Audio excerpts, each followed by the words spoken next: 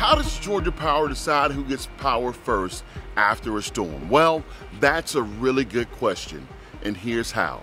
Georgia Power focuses first on restoring power to hospitals, schools, with other public safety facilities taking priority.